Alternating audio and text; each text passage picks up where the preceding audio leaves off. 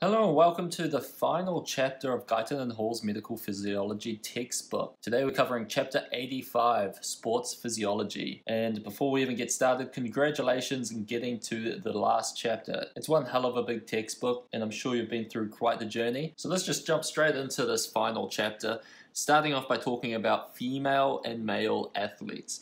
Now there is some very slight differences between the average male and average female, and that's due to mainly the endocrine differences. Males have more testosterone, so then that's going to result in an anabolic effect and make more muscle relative to fat, whereas females have more estrogen, so there's going to be a propensity for deposition of fat as well in the female. So there's slightly higher levels of muscle in the male, which corresponds to a difference in athletic performance. When it comes to the actual strength of the muscle, that is determined by the size of the muscle, more specifically the cross-sectional area, because your contractile force is going to be 3 and 4 kilograms per centimeter squared of muscle cross-sectional area. So if you have a higher cross-sectional area, you have higher strength. Now the holding strength of muscle is going to be 40% greater than the contractile strength And what that means is that if you have a muscle that's already contracted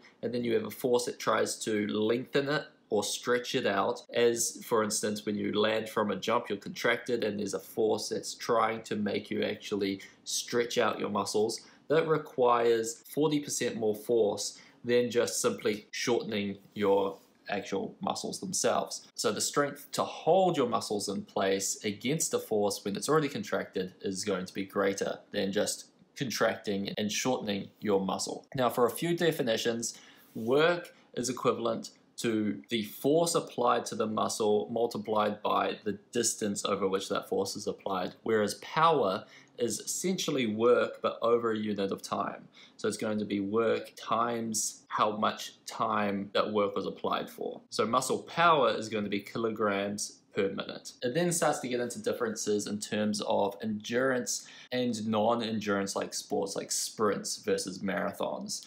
That's going to be a heavy portion of this chapter. Now remember, endurance sports is going to be like a long marathon where you're going to need different types of nutrients, different types of muscle remodeling, and different type of cardiovascular remodeling compared to, let's say, a sprinter who's going to be doing very short, sharp bursts of energy. So starting off with the muscle metabolic systems, if we get a nice grounding in the muscle metabolic systems, then you're going to understand which type of activity is going to use which type of metabolic system. We've already briefly talked about these in previous chapters, so it's going to be a quick run through. Remember, ATP is your energy currency of your cell. You will have two high phosphate bonds immediately released to provide you energy. So whenever you need energy to do something like muscle contraction, you're going to immediately cleave your ATP. That's going to diminish all your ATP within a couple seconds once you start activity. So you need ways to rephosphorylate your AMP and your ADP to re-establish ATP so then that can be used for energy. We have three methods to re-establish your ATP stores, each with a slightly different time frame. So phosphocreatine is a part of the phosphagen energy system. This is the very first one. This one lasts for about 10 seconds and it's going to just cleave your phosphocreatine into creatine and phosphate. So then this phosphate can be used to re-establish your ATP.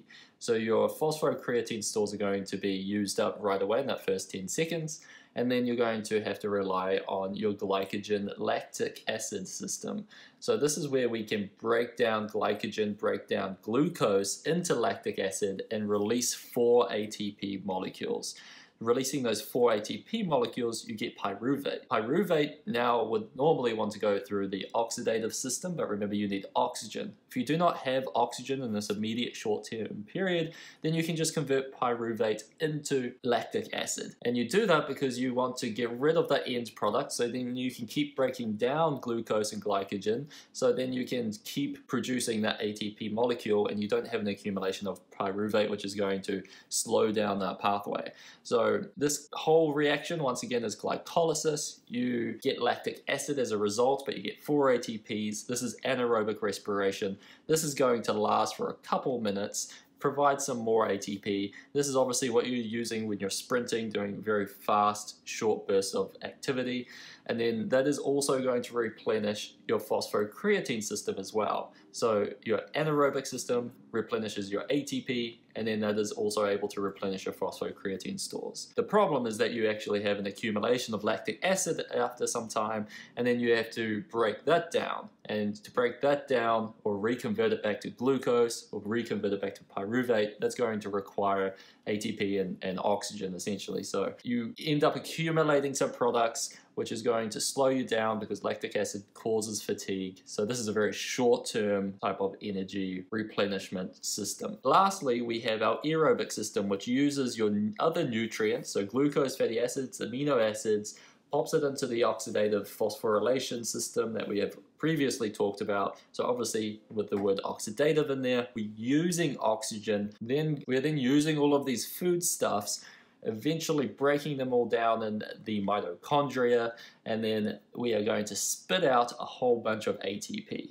And we're able to produce a lot of ATP from this pathway, but it's quite slow. So you can see the aerobic system, moles of ATP per minute is just one, whereas the phosphagen system is very quick, just four, but it's immediately gone away. The aerobic system, on the other hand, is technically unlimited as long as you're able to replenish those nutrients and also make sure there's enough oxygen to be able to break down those nutrients or those foodstuffs. So you could imagine what type of metabolic processes you're going to use for different types of activities. The fastest types of activities they're going to use your immediate ATP stores, your phosphocreatine, and your anaerobic system or your glycolysis whereas your long endurance types races are going to use your aerobic system with your foodstuffs and requirement for oxygen. So that's going to slightly change what kind of physiological remodeling you're going to have as well within your body. And also it will determine which diets are best for performance. Because with the aerobic system, you really want to be able to have a constant supply of nutrients going to your muscle. The best way to do that is have high levels of glycogen within your muscle and liver beforehand so then you're able to have this big store of foodstuffs ready to go once you're doing your exercise. You can replenish those glycogen stores by eating a high carbohydrate diet a few days before the activity and then as soon as you've done your activity the high carbohydrate diet will be able to replenish that glycogen. So high carbohydrates, good for long endurance type races. Fats and proteins are okay, they can still replenish things, but just not as good for that replenishment of muscle glycogen. Now we should also mention this oxygen debt just here. Once you start exercising, your rate of oxygen uptake dramatically increases as you would expect. You need to use oxygen to create your ATP, which allows you to continue your activity. Now, after you stop exercising, you've now accumulated some lactic acid, so your oxygen actually starts to be used to break down and reconvert lactic acid back to pyruvate, back to glucose. And that results in this very long, prolonged time where your rate of oxygen uptake is still going to be increased slightly, even though you've stopped the activity you know, up to 24 hours after the actual activity itself. So lactic acid causes this long, prolonged oxygen debt that you have to replace since you use that glucose initially to get that initial ATP little spurt at the price of having this lactic acid. There is this initial period where it's alactic acid oxygen debt, meaning that it's not an oxygen debt dependent on lactic acid, it's just purely replenishing all the different types of metabolic pathways there. So moving on to athletic training, one of the major important principles is resistance training. Now this is just saying if you were to do a bicep curl with absolutely no weights at all, that is non-resistant training or non-load training. So that's just literally lifting your arm up and down.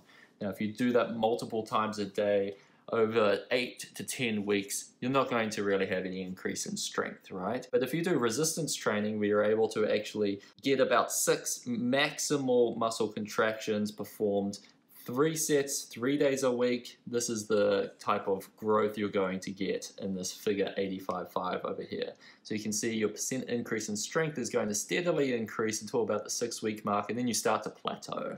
Because obviously if this was a linear line, we would have some pretty tremendously strong people out there.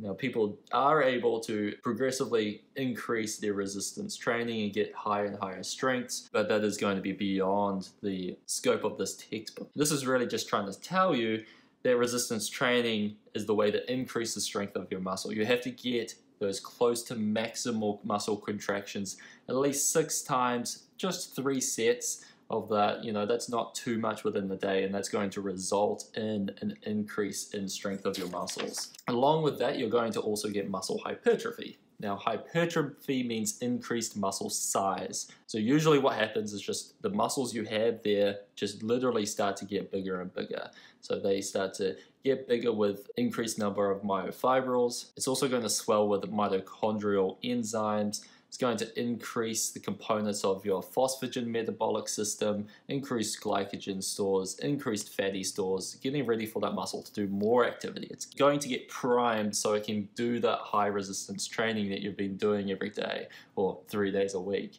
The muscle's then going to prepare for it and you're going to eventually be able to do more and more. Now we do have two different types of fibers in our muscles. We have already gone over this before, but let's just quickly recap it again. You have fast twitch for your sprinter-like activity and slow twitch for your slow endurance type of activity. Correspondingly, fast twitch is going to be a larger diameter, it's going to have more enzymes for your phosphagen, glycogen, lactic acid energy systems, it's going to have less mitochondria because you're not using oxygen, you're not trying to get aerobic respiration. It's going to have less myoglobin because you're not trying to store oxygen in those muscles.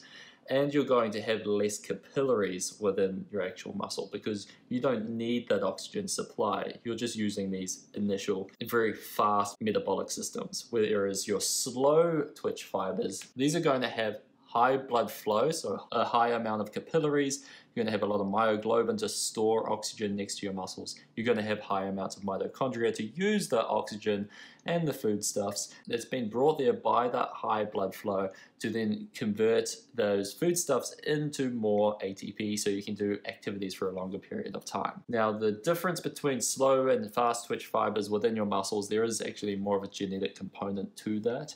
Um, and it's more just what you have is going to determine how good you can get um, but obviously, if you're going to train your muscles, your muscles are going to get stronger. They're going, you're going to get faster, but you're going to maintain the same proportion of fast and slow twitch fibers within your various muscle groups. So obviously, someone born with 100% fast twitch fibers is going to be great at jumping or a propensity to be able to be great at jumping, but they are going to find marathon training quite difficult. Now, a couple graphs here, just quickly explain. We have oxygen consumption on the bottom here, and then we have a total ventilation up the top. This is just saying that with an increased oxygen consumption, we have a corresponding increase in total ventilation, which makes perfect sense. It's a nice linear relationship. So you increase the oxygen consumption, you increase your pulmonary ventilation. Now that's actually neurogenic, so that's not because you've got a low oxygen so you need to increase your ventilation.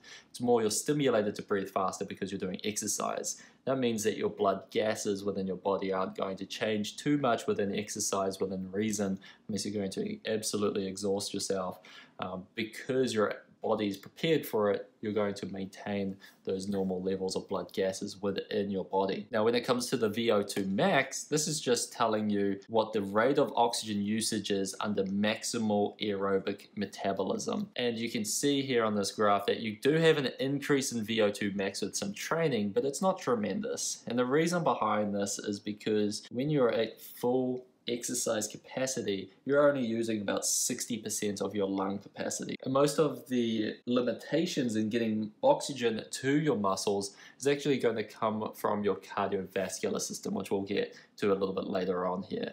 Because you need to not only diffuse oxygen across that membrane to get into the blood, you now need to get that blood to your muscles. And it's actually that portion from blood to muscles, which is the rate limiting step, rather than oxygen from your lungs into your bloodstream. And that can actually increase quite dramatically that diffusion across within athletes or even just during maximal exercise, as you can see on this little table down the bottom here. And that's because you're having some pulmonary capillaries when you're resting that are just just closed off, they're not doing anything. And then that increased blood pressure and increased blood flow to the lungs just helps to increase the amount of blood to your lungs that can then soak up more oxygen. Now, smoking severely diminishes your pulmonary ventilation. There's several reasons for that. In the short term, you're going to cause constriction of your bronchioles, increasing resistance. You're going to irritate your bronchioles and cause fluid secretion, and then also paralyze your cilia. So you're going to just clog up all your bronchi and your smaller airway passages with all this material, and it's going to be harder to get enough oxygen. Long term, chronic smoking, you're going to have some more severe long term side effects because all of that irritation, all of that clogging is going to result in destruction of your alveolar walls, which is just severe emphysema. And that's where the respiratory membrane literally gets destroyed, just wiped out, and you no longer have the ability to use that membrane to diffuse oxygen into your blood. So you've just severely limited how much oxygen you can take in with each breath. Now, getting to cardiac output, the first thing is that muscle blood flow drastically increases during exercise. We cause vasodilation, there's increased blood pressure, we send more blood through your muscles. You can see that during rhythmic exercise, the calf blood flow on the side here actually goes up then down and that's because during contraction during the actual muscle movement that's going to squeeze the blood out of your muscles it's going to fatigue it and then as soon as you, you stop contraction there it's going to release the blood constriction so then blood's able to flow. So you can see the flowing of blood and then the stopping of blood quite rhythmically, but overall it's elevated compared to the resting state. Now when it comes to cardiac output, you can see that it increases linearly with our oxygen consumption, and that makes sense because if you increase the amount of oxygen consumption due to increased muscle workload, that's going to dilate all your muscle blood vessels and increase your venous return, so then your cardiac output will naturally increase. Now, if you chronically are working out and increasing the workload of your heart, it's going to respond by remodeling. And this is more prevalent in endurance athletes, where the body's going to say, let's get the heart, make it larger, let's give it more mass, so then now we can pump out more blood per heartbeat, so we can get more blood flow to our muscles, so then we're able to do more activity. Now, correspondingly, at rest, you're still going to have the same cardiac output as a non-athlete. But since your stroke volume is so high now, because you have such a larger heart that can contract a little better and send all that blood out, you need to subsequently reduce your heart rate at rest, so then your cardiac output is going to be the same. Because remember, cardiac output is the product of stroke volume by heart rate. So if you have a high stroke volume, then you're going to reduce your heart rate to have a normal cardiac output at rest. But that means that exercise, when you increase the heart rate with that increased stroke volume, your cardiac output increases compared to an athlete. And then that allows you to do more activity and get more oxygen to your muscles that you need. But it's important to note that during maximal exercise, your heart rate and stroke volume are operating at 95% of their maximum compared to our respiratory system, remember, which is operating at 60% of its maximum. Now, your respiratory system is like that, so then you've got some reserve. If you have some illness or you're at altitude and there's less oxygen around, you can still increase your ventilation. Or let's say it's really hot outside, you can increase your ventilation and be able to accommodate for that. Now, your cardiovascular system is operating right at 95%. You can't increase that any further. So that's going to be the main rate limiting factor when it comes to delivering oxygen to your muscles. It gets into the bloodstream just fine from the lungs. It's now got to go from the blood to your muscles, and that's depending on your cardiac output. Now, some last little facts here. As you could imagine, if you're already operating at 95% of your maximal cardiac output, if you have any heart disease that reduces the ability of your heart to perform at that cardiac output, you're going to subsequently significantly reduce your athletic performance. Now, normal cardiac output is going to actually reduce in older people, particularly if they don't keep up with exercise. That's why exercise is so important to prolong life because it helps to reduce cardiovascular mortality. And if you're able to keep that heart nice and happy and make sure that you're able to increase your cardiac output if you need to, then that's going to prolong life. Now, body heat and exercise, you're obviously going to produce a lot of heat. At the end of the day, all your food, gets eventually turned into heat. Either that's through muscle contraction, chemical reactions, overcoming viscous resistance in your joints or your blood flow, everything eventually turns to heat. So if you're going to increase your activity and suddenly burn a lot more fuel, then you're going to obviously increase your body temperature. If you're going to do that in a hot environment, you could result in heat stroke. If you start to get above 106 to 108 Fahrenheit or 41 to 42 degrees Celsius, you start to destroy some of your tissues, particularly your nervous tissues or your brain cells.